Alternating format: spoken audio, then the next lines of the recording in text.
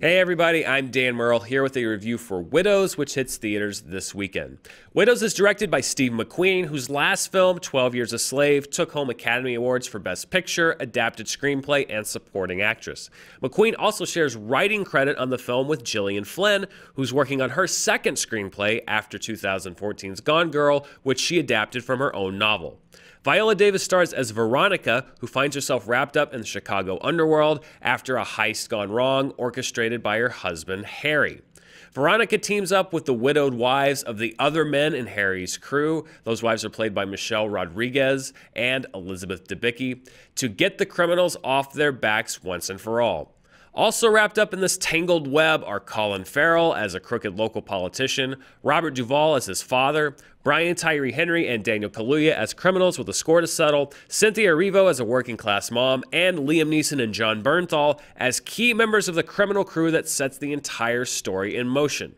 Now, Widows is definitely one of the most unique films I've seen in 2018, which I think works for and against it in a lot of different ways. If you're walking into the movie expecting the thrill a minute heist film promised by the trailers, I think you're going to be in for a surprise. Widows is a very slow and deliberate film, which I think works with mixed results. The slow pace does allow its characters room to breathe, which works for Viola Davis's character in particular as she finds her world turned upside down overnight. And for a story as audacious as this one to work, you have to follow the characters through the process of making their decisions. And Widows never strains credulity with regards to why its characters are doing what they're doing in the film. However, there are also characters and scenes that I don't think ultimately pay off or seemed integral to the plot that made parts of the film drag. I don't mind long movies, and I don't mind a movie that's a slow boil, but at the end of Widows, I walked away thinking that maybe it could have been a little bit more effective and efficient as a movie if it had been cut down just a little bit more in the editing room. There are also a couple of big story elements that make for really dramatic turns, but that I'm not sure entirely were necessary in telling the story of the film. If anything, they serve as distractions from a very intriguing core story of Veronica's often perilous journey into her husband's life and how to escape his sins. Now, some things I really can't find much fault with are the performances, particularly Viola Davis, who proves once again why she is one of the best actors working today, as she carries Veronica's rage, sorrow, betrayal, fear, and anger with her throughout the entire film, only rarely allowing it to bubble to the surface. Michelle Rodriguez's Linda and Elizabeth Debicki's Alice are also strong as the widows looking to make their own impact on the world and erase the memories of their husbands' flawed legacies. The only performances I really couldn't get entirely on board with were Colin Farrell's and Robert Duvall's. Colin Farrell seems to be attempting some hybrid between his own native Irish accent and a Boston accent, which might not be a problem if the film weren't set in Chicago.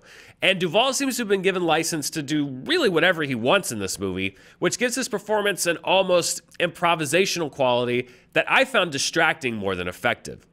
Now, Widows has all the elements of being a fantastic movie a prestige cast, great talent behind the camera, a timely and powerful story and themes. But I felt like it was hamstrung a little bit by some very curious creative decisions, including some story choices that ultimately don't seem to lead anywhere and side plots that don't pay off. Now, at its core, Widows is a very effective and engaging story about a group of women who come together to take control of their own lives and bring down the men out to destroy them. The payoff to that story and the performances supporting it are what tipped me towards recommending this movie. However, be prepared to take the good along with the bad. Now, while I ultimately enjoyed Widows, there are more creative misses along the way than I really expected from the creators who made it. And with a little tweaking to the story and the pace of the film, I think Widows could have found a broader audience than it might ultimately reach. And while not every film will be for a wide audience, I think there are some who will be turned off by certain aspects of the film's storytelling that don't appreciably enhance the film overall. There will definitely be some passionate defenders and probably some people who will not enjoy this movie at all. And I'm not really in either camp, but I really wanted this to be a movie that I loved. However, considering how badly films can go off the deep end sometimes, I'm not really complaining about being somewhere in the middle. Have you seen Widows? What did you think of it? Let us know in the comments section below. And as always, stay tuned here to Screen Junkies News, where we will be bringing you the latest reviews and updates in the world of entertainment. Thanks for watching. See you next time.